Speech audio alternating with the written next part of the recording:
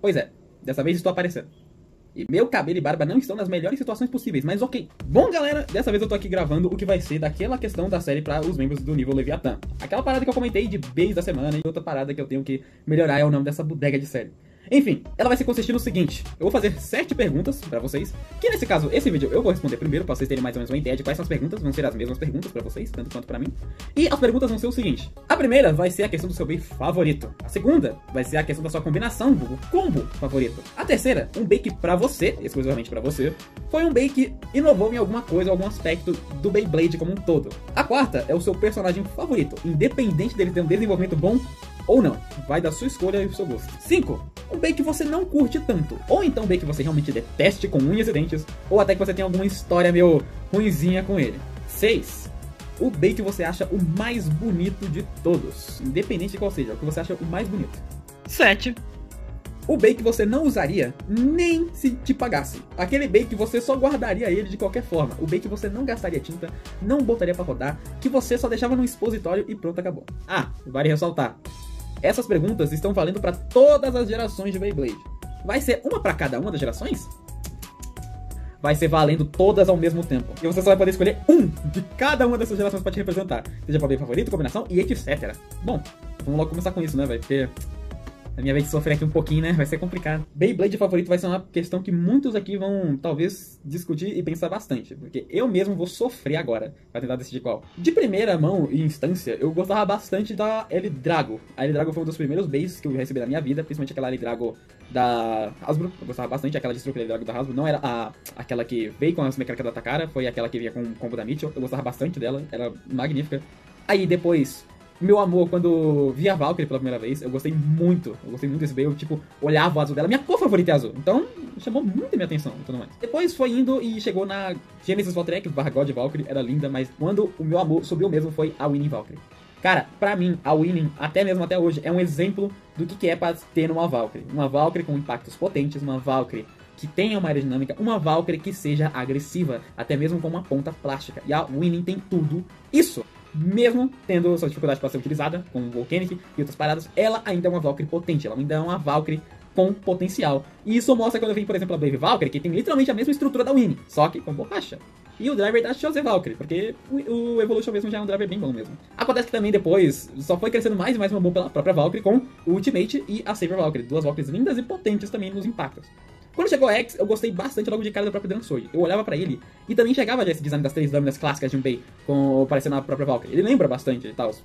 E ele é simples. Eu tenho um enorme carinho por bays de ataque que sejam simples. Tá certo que a gente tá no começo da geração. Mas, independente, um base simples com uma proposta simples para atacar, já me ganha bastante. E isso é da hora. O Drill Sword funciona muito bem, ele bate muito forte. E pra mim ele é mais legal do que o Drum Dagger. Eu sei que o Drum Dagger é até mais bonito realmente, tá? mas eu preferi o Drum Sword, de qualquer forma. Só que aí que tá, esses não são meus bays favoritos. No caso, não o primeiro favoritão. Que...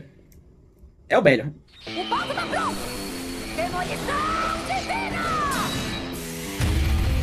Sim, o meu bem favorito é aquele que na temporada dele ele não é um bom exemplo do tipo ataque, né? Cara, eu simplesmente fui gostando dele, tá ligado? Fui gostando da questão do avatar. Ele é o avatar mais vivo que nós temos na série. Ele conversa muito com o Bel, ele aconselha, ele brinca, ele. Cara, ele teve uma. Mano, o avatar teve um momento humano em que ele se sentiu fraco, em que ele ficou. Tipo, eu não consigo. Ele ficou num declínio. Você tem noção do que é isso? E também tem a questão que, tipo, eu acho ele esteticamente um bem bonito. Dangerous Battle eu acho ele bonito, muita gente não gosta dele, mas eu gosto bastante, por sinal. Divine Battle foi o ponto que eu olhei para ele e eu falei, cara, eu acho que ele tem chance de ser meu bem favorito. E quando saiu a questão da Ultimate Divine Battle, foi ali que eu olhei e eu falei, esse é meu bem favorito.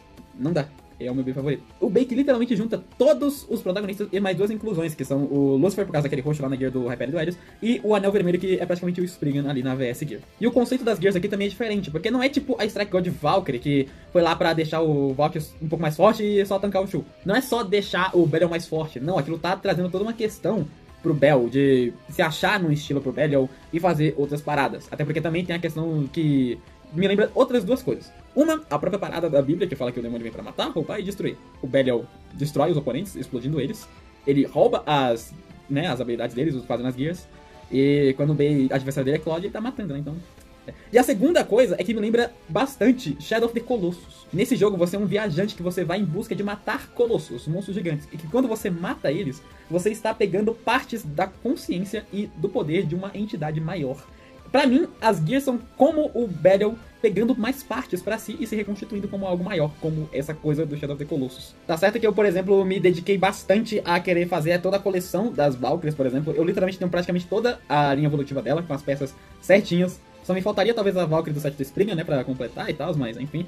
Mas o Battle é um bicho que eu até me esforcei para poder fazer, ter o Ultimate Gear, o Perfect Gear no Dangerous, e eu tô vendo se eu consigo fazer o Perfect Gear no meu Dynamite. Que por sinal, o Dynamite eu peguei original. Eu preciso de mais argumento pra dizer que é meu favorito? Sem contar o fato de que eu ainda por cima fiz bastante vídeos sobre ele aqui no canal. Falei dele ser um bem estranho, falei dele ter similaridades com o Rafael e que tinha um potencial aí. É, eu acho que tá bem na cara, na verdade, ele ser meu bem favorito. Azul é definitivamente minha cor favorita. Mas cores escuras tipo cinza e o preto eu não jogo fora. Combinação favorita também é outra parada que vai bastante variando. Muitas combinações nós temos por aí, desde combos como, por exemplo, o anel de ataque da DGV2, ou até mesmo questões como o Perfect Phoenix para Burst, ou até mesmo o que para mim tá sendo o que eu gosto bastante, que é Drum Sword de Gear Flat. Eu simplesmente adorei essa ponta e eu quero colocar ela pra tudo. Reinhorn, Drum Sword, Dagger, eu quero colocar o, o Gear Flat em tudo. Mais uma das combinações que eu gostaria bastante de querer fazer envolve o Diabolos. Para ser mais específico, uso Vai Diabolos Sting Hold Dash. É um combo de GT, que na época foi um dos base, não, o base mais forte no meta. Na época que GT veio também, aprimorou o tipo ataque. O tipo ataque não tinha muitos bases potentes para lidar como base tipo Spriggan Hacking na época. Então, tinha usado Spriggan para fazer questão de equalização. Então, veio os Vylonginus, veio é, Joker e Base que conseguiam ter potencial de ataque grande e esse combo do Diabolos, dos Vai Diabolos Sting Cold Dash surgiu. É um combo que pra mim tem bastante significado porque ele é literalmente o combo de onde veio o Leviathan, então não tenho muito o que. Aliás, tem até um tanto que elaborar e tudo mais, mas ele é simples. Ele vem com a base do Zwei, que tem os impactos de metal, vem com o peso do Diabolos, que é um ótimo chip de GT, que é o primeiro Diabolos que tem com o peso infundido, então não tem como colocar mais peso, mas ele já é bem pesado. Aí vem o disco Sting, que também é um disco muito bom, e o Driver Hold Dash. Ele lembra o Volcanic, eu já me ganhou nisso. e é simples, ele mata, é isso, a combinação matadora. Ele serve para matar, ele vai matar e o que tiver na frente, bye bye. É difícil de controlar? Com certeza. Ele vai matar quem tiver na frente? Também com certeza. É perigoso? Não vou nem comentar. Mas é a minha combinação favorita. Tem com certeza outras combinações que são mais fortes do que ele, mas não é. Estamos falando de questão competitiva, estamos falando de gosto pessoal. E pro meu gosto, Vai Diablos Sting Hold Dash é minha combinação favorita. Que eu guardo bem aqui, ó no meu coração. A câmera tá invertida, talvez. Eu não sei se vai estar tá invertida pra vocês, mas é, pra mim meu coração tá aqui. Enfim. Bem que pra mim inovou algo na franquia, ele também faz parte de GT. Eu tô falando de nada mais nada menos do que Imperial Dragon.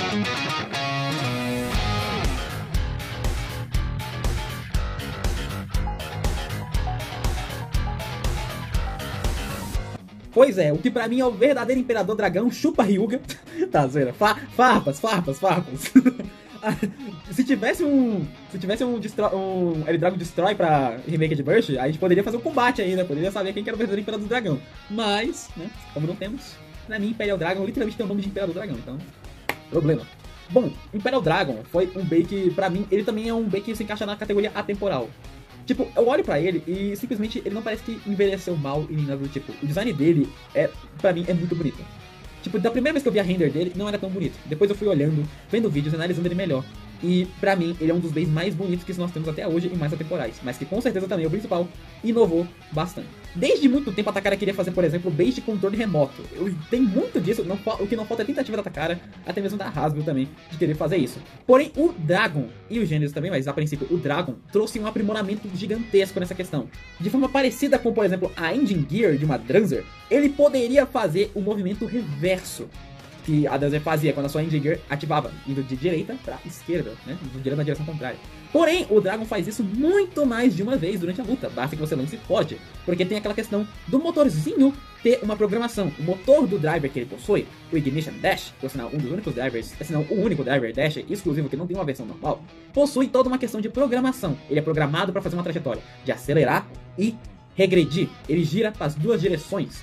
Não no sentido de que o Bay gira, para e depois volta. Não, a ponta dele que faz esse processo. Ela gira acelerando ele para direita e depois gira para outra direção fazendo ele para esquerda. É um negócio de louco, cara. Eu até hoje quero pegar um novo Imperial Dragon, porque o meu tá todo lascado, e, e poder lançar ele, poder batalhar com ele fazendo e vendo essa mecânica. Que eu tenho bastante história com o Imperial Dragon, ele por muito tempo também foi o meu favorito meu, que eu tentei reproduzir ele, fazer a questão do motorzinho, eu me esforcei pra caramba pra fazer ele, só que ele acabou virando um trambolho desse tamanho. E. Mas enfim. Pra mim, ele é um dos Bays que mais inovou e que, com certeza, na minha visão, é o que mais inovou mesmo também pra franquia. Como a questão tecnológica e o que poderia fazer. Tanto que só ele e o Genesis tiveram essa questão do motorzinho e nunca mais veio à mesa essa parada dos motores. Mas se tivesse mais, eu com certeza iria atrás de pegar. Personagem que mais gosta? Eu não vou nem enrolar. Lane Valhalla.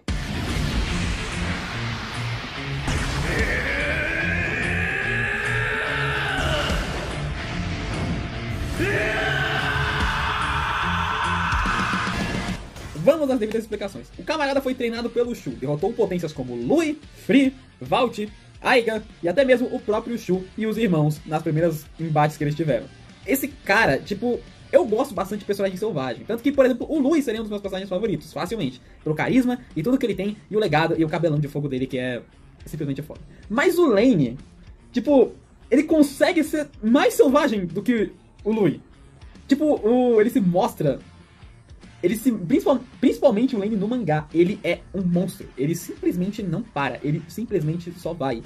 Se tem, algo no, se tem algo no caminho, ele vai explodir isso com força bruta.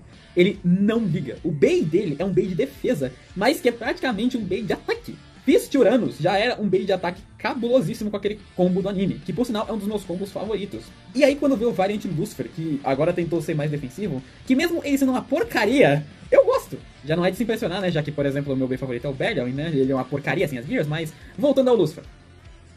A mecânica dele é interessante, só não foi tão implementada muito bem, mas ela é interessante e um pouco assustadora, de certo modo. Ele é uma parede. Paredes não podem ser derrubadas facilmente. É isso.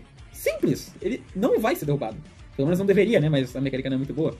Fazer o quê? Ele é praticamente aquele clássico personagem Ed, recluso, só que com coisas que chamam a atenção, como as marcas na cara e também o cabelo rosado, os olhos em amarelo. Tipo, são coisas bastante chamativas. E principalmente também, por exemplo, quando ele tira o casacão dele e tá lá o traje dele todo feio de cinto. Cintos esses que quando ele fica putaço, estouram. Isso só acontece uma vez, mas seria muito louco. Também tem toda a questão do arco dele de perceber o vazio.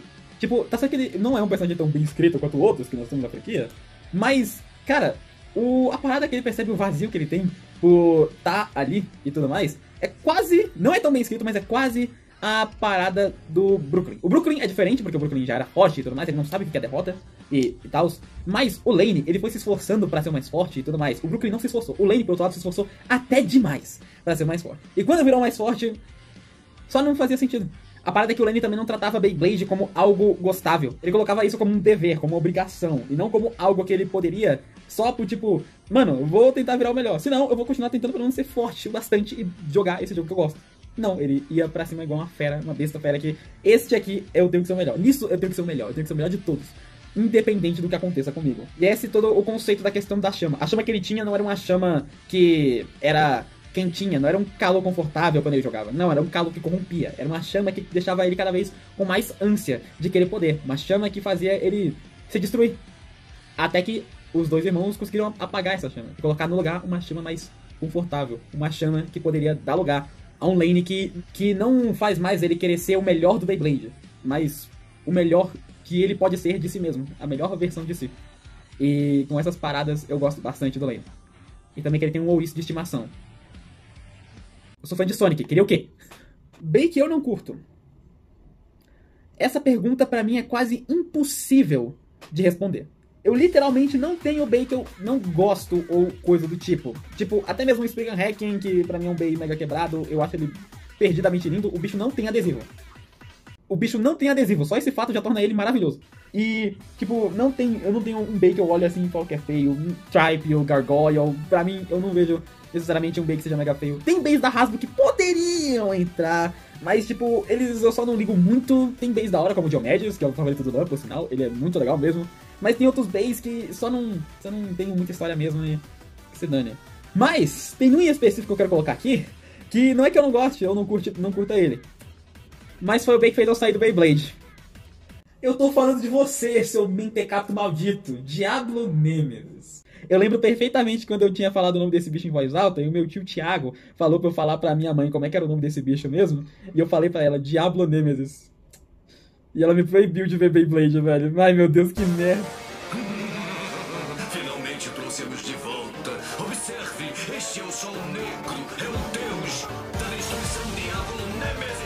Diablo Nemesis, pra quem não sabe, foi o Bay Final Boss, praticamente, de Metal Fight Beyblade 4D, ou Metal Fury, onde o bicho era simplesmente um monstro, tá ligado?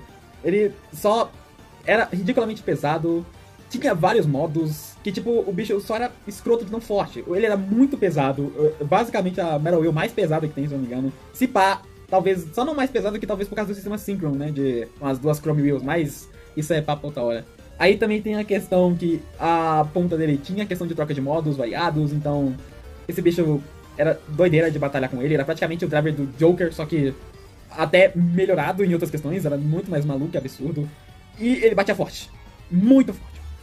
Forte pra um caramba. Eu acho esse bicho magnífico e da hora. Mas eu nunca vou me esquecer do fato de que esse miserento me fez sair do Beyblade. Diablo Nemesis, você é um filho de uma... Bem mais bonito. Eu colocaria facilmente o estoque da God Valkyrie aqui, mas não dá. Dragon GT, vai se ferrar, que design bonito da desgrama. Pessoalmente eu prefiro a Dragon AMSUV.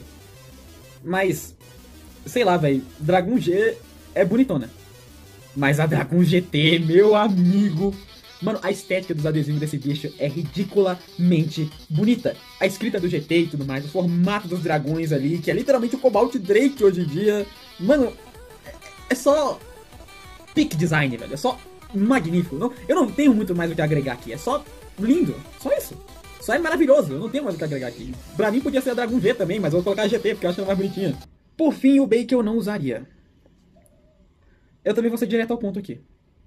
Dran Sword. Mas não é qualquer Dran Sword, porque isso aqui eu tive até que pensar no banheiro. É. Banheiro é um dos melhores lugares pra se pensar. Eu não tô zoando. Você reflexiona legal. Tá, mas então qual que é a parada desse Drum Sword? Por que você não usaria ele? Simples no consagrado. Porque é o Sword de bronze, de premiação, de torneios oficiais. Porque primeiro, eu não vou conseguir essa bosta. Segundo, a pintura dele pra mim é mais bonita do que a dourada e o prata. Porque dourado depende bastante se o bem vai ficar combinando com a cor. Pra mim o Drum Sword não foi esse caso. E prata, o Drum Sword já tem versão prata até no Random Booster, com aquele foguinho azul. Que por sinal acho mais legal. Enfim. E terceiro, não dá. Não dá, pra mim não dá. Ele só simplesmente é bonito. Eu gastaria vários Cobalt Drakes, eu gastaria vários Phoenix Wing, mas eu não gastaria um desse Dragon Sword bronze. Porque, como eu já falei, é mais difícil de conseguir do que um Cobalt. Porque Cobalt já tem até fake pra tu pegar. Esse não saiu nem o fake pra tu ter ideia. E ainda tem a pachorra de que você teria que ir para o Japão, competir em um torneio e na cagada você cair em terceiro lugar. Ou se caísse em algumas outras posições, você tentar trocar o seu prêmio com alguns outros participantes. Coisa que eu acho que não rolaria. Se ferramos. É. Não ia rolar. Poderia me pagar o tanto que for. Mas eu não ia tirar esse troço da caixinha de vidro dele e nem ia lançar.